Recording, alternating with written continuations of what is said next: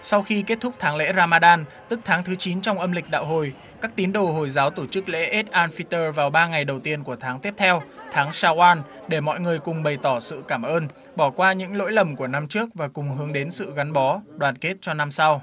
Tại giải Gaza, nơi nhiều ngày nay đang chìm trong biển lửa và làn sóng biểu tình, người dân vẫn cố gắng duy trì bầu không khí ngày lễ. Tình hình ở Gaza đúng là thảm họa.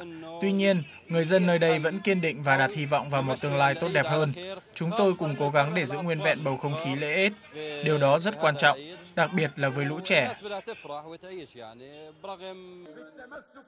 2.000 tín đồ Hồi giáo đã tập trung ở giải Gaza trong ngày đầu tiên của lễ Eid al-Fitr để cùng cầu nguyện và đồng thời cũng để biểu tình. Phó thủ lĩnh Hamas tại Gaza, ông Khalil al-Hayya cũng đã có mặt Phát biểu tại buổi lễ, ông nhấn mạnh người dân Palestine sẽ tiếp tục biểu tình phản đối cho tới khi nào quyền lợi thích đáng của Jerusalem được trả lại. Trong khi đó, tại Afghanistan, Tổng thống nước này là ông Ashraf Ghani đã thỏa thuận đình chiến với chính quyền Taliban trong các ngày lễ. Tuy nhiên, ông cũng bày tỏ mong muốn sự bình yên này có thể kéo dài lâu hơn.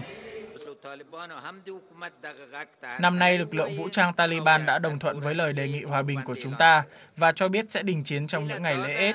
Chúng ta cùng mong mỏi cho đất nước có thể hòa bình lâu hơn thế, và chúng ta sẽ không phải chứng kiến máu chảy nữa.